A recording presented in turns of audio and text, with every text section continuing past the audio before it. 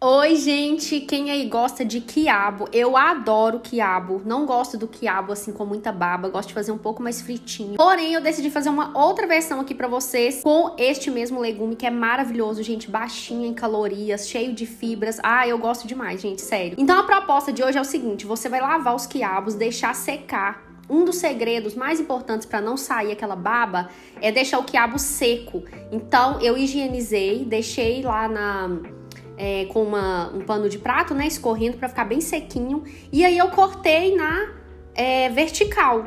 Só isso, mais nada. E preparei um temperinho à parte. Eu coloquei azeite. Você pode colocar, gente, como sempre eu digo em todos os vídeos aqui, os temperos que você quiser.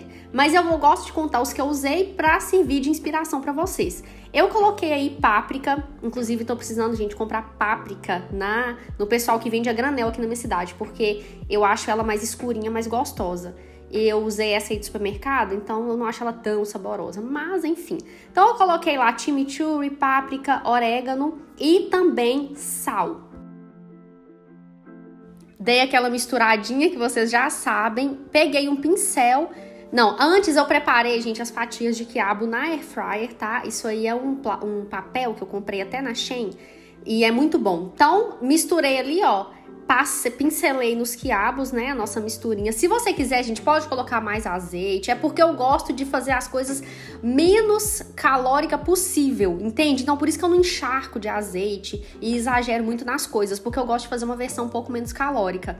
Olha só, levei o quiabo para air fryer, porém antes eu joguei um parmesão por cima. Da mesma forma, gente, se você quiser, pode caprichar no parmesão, colocar mais parmesão.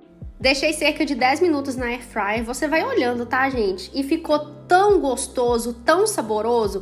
Com certeza, se tiver colocado mais queijo, ficaria mais gostoso ainda.